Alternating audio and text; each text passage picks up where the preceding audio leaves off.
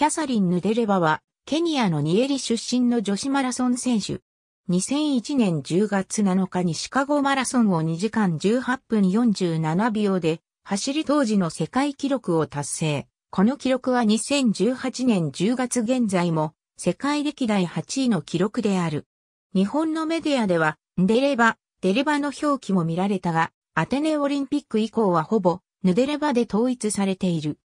2005年世界陸上ヘルシンキ大会序盤は、先頭集団の後方にいることが多く、じっくり後ろから集団を観察していることが多い。また、先頭集団から少し遅れた位置で、先頭集団の様子を伺いながら、中盤過ぎから先頭集団についていき、終盤にスパートして勝利というパターンが多い。世界記録を打ち立てた2001年のシカゴマラソンでは、最初の 5km を17分41秒と1990年代以前の女子マラソン、日本記録よりも遅いスローペースで入ってから距離を踏むごとにみるみるペースアップし、ゴールでは1週間前に高橋直子がベルリンマラソンで打ち立てた世界記録を約1分も更新するという驚異的な回想で圧勝している。また、2003年の世界陸上パリ大会、2007年の世界陸上大阪大会では、途中まで先頭集団の後方で様子を見ながら、終盤に気を見てスパートして勝利するというレースパターンで世界一の称号を勝ち取っている。その反面、中盤でのロングスパートにはついていけない傾向がある。実際、2004年のアテネ五輪では、野口瑞希に2005年の世界陸上ヘルシンキ大会では、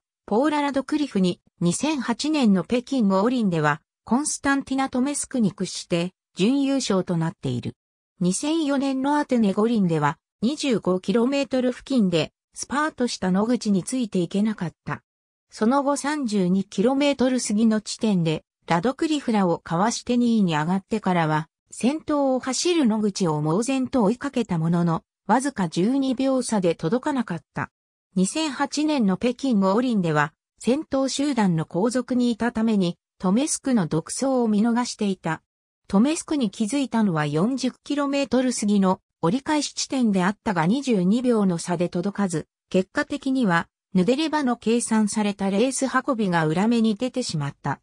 それでも気落ちせずに、シューハルヒデとの2位争いの一騎打ちでは、トラック勝負で差をつけて、銀メダルを獲得した。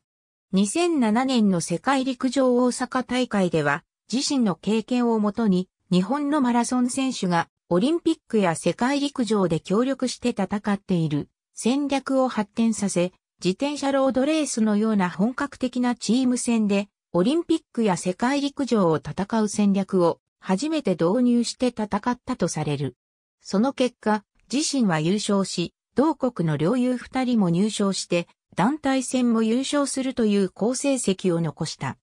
このヌデレバが本格的に導入したチーム戦で戦う戦略は、以後のオリンピックや世界陸上などのマラソンでも、スタンダードなものとなり、ケニアの他にも、この戦略を本格的に導入した中国、エチオピア、ロシアなども、オリンピックや世界陸上のマラソンで安定して、結果を残すようになった。ありがとうございます。